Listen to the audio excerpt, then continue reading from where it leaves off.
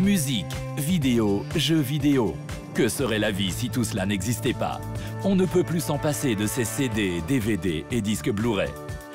Kees Schwammer Iming. C'est en partie à l'esprit inventif de cet homme que nous pouvons écouter tranquillement de la musique ou regarder des films. Cet Hollandais a trouvé le moyen de stocker de la musique et des films sous forme numérique sur les petits disques argentés. C'est incroyable à quel point les gens peuvent aimer ce produit depuis les 20 dernières années. C'est fantastique, ça fait plaisir. L'invention de Imink révolutionne le secteur du divertissement. La clé du stockage numérique des données est un programme génial de codage. Il traduit les signaux électriques dans un langage numérique. C'est ainsi que les informations, la musique par exemple, sont stockées sur un support numérique.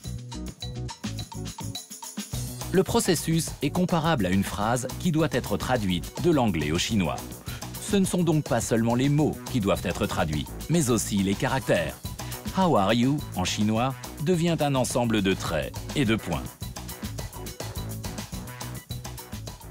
Le code du CD traduit les signaux sonores en signaux électriques. Les données peuvent ainsi être stockées sous forme numérique sur un disque. La traduction du signal audio est comparable à la traduction d'une langue à une autre. Voici une phrase en anglais, et ici, les caractères chinois. Comme on le voit, c'est beaucoup plus compact en chinois qu'en anglais.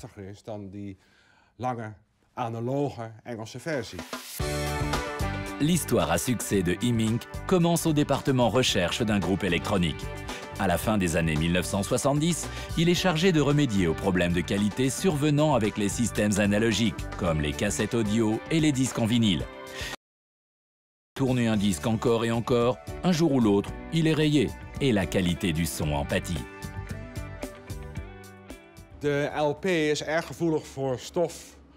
Le disque vinyle, le bon vieux micro-sillon, est très délicat. Il n'aime ni la poussière, ni les rayures, et même les marques de doigts lui sont désagréables. En un mot, il ne se prête pas volontiers à l'usage courant. La solution au problème exige une nouvelle technologie, le disque compact. En un mot, le CD. Contrairement au micro-sillon sur lequel les données sonores sont gravées dans le vinyle, sur le CD, ces informations sont stockées sous forme numérique à l'aide du code binaire. Le CD en réalité n'est pas un support audio, mais un support de données. La musique est stockée sous forme numérique sur la couche en aluminium du CD, et cela par l'impression de cavités microscopiques appelées pits et de parties plates appelées lands. Une couche de lac scelle l'information. E-Mink voit un grand potentiel dans le stockage des données sous forme numérique. Le CD est lu avec un microscope et le laser. C'est pourquoi il est possible de reconnaître aussi de très petits symboles et lettres numériques. C'est comme quand un livre est lu. Il ne s'abîme pas à la lecture. Ou un téléviseur. On peut le regarder des centaines de fois. C'est pas ça qui va l'abîmer. Mais ce stockage d'informations ne fonctionne pas avec tous les décodeurs numériques car lorsqu'Imink commence le codage du CD, le laser perd la trace.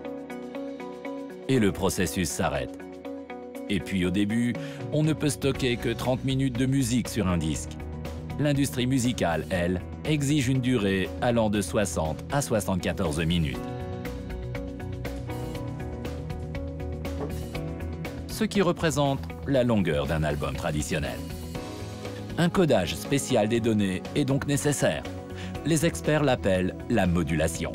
Les signaux électroniques sur le CD doivent être transformés à l'aide d'un code binaire. Un énorme défi pour Iming.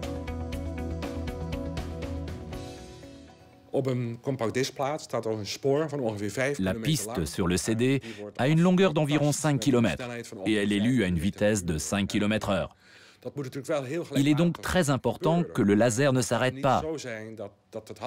On a essayé tellement de codes, certainement plus de 1000.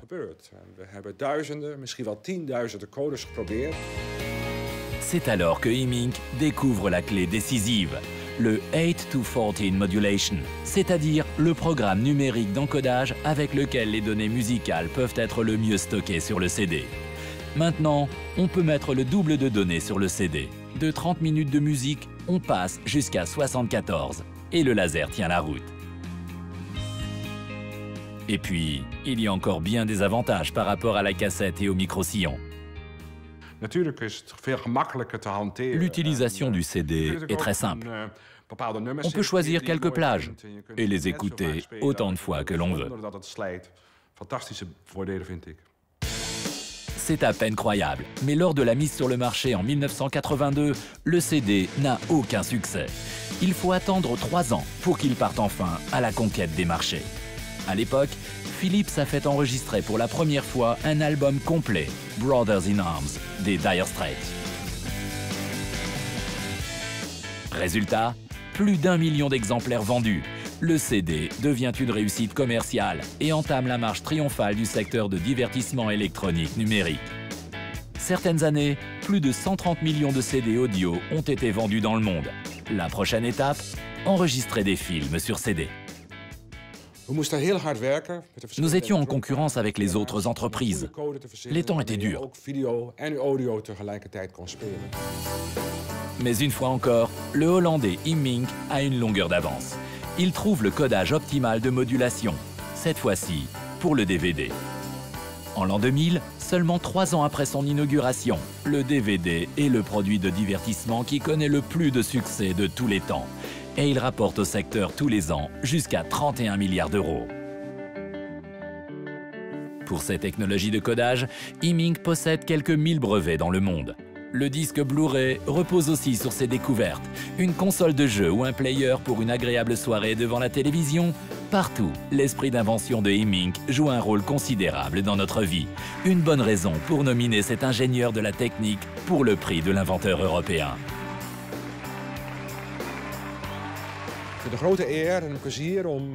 C'est un très grand honneur d'être nominé pour le prix de l'inventeur européen. C'est magnifique. J'attends le gala de la remise des prix avec impatience. Imink pourra-t-il emporter chez lui le trophée en signe de récompense pour l'œuvre de sa vie? Nous le saurons au cours de la dixième cérémonie de la remise des prix qui se déroulera au mois de juin à Paris.